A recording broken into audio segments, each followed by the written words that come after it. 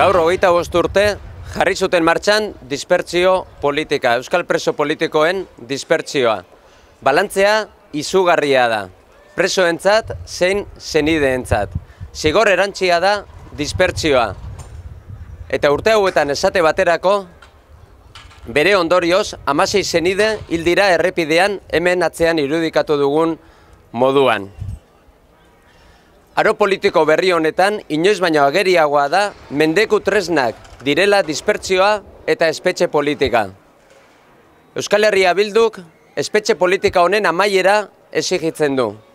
Euskal Herria Bilduk Europako Parlamentura eramango du politika horren aurkako borroka.